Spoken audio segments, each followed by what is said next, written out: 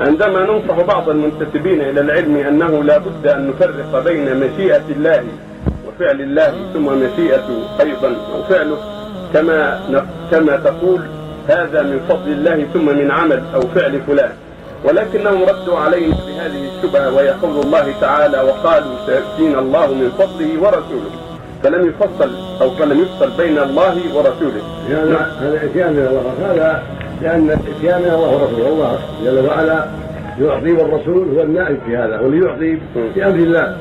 أمر الله أن يعطي من بيت المال ما ما شاء سبحانه وتعالى. وقال أنا إلى الله راغبون ولا قال إلى الرسول. فالإتيان من الله ومن الرسول واما الحسب لله حسبنا الله. وإلى الله الرغبة سبحانه وتعالى. أما الايتاء فالله يعطي والرسول يعطي بامر الله من بيت المال ومما أعطاه الله من الأمور.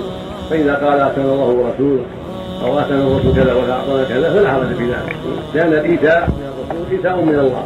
لأن الله